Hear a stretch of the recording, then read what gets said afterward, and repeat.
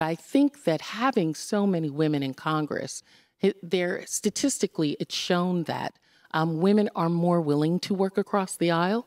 They're more willing to engage with other people and to make compromise and to negotiate and to sit and to, you know, as a lawyer, I know that the best deal is when everybody feels a little angst, right? Everybody is not entirely happy. Everybody gets a little bit of what they want.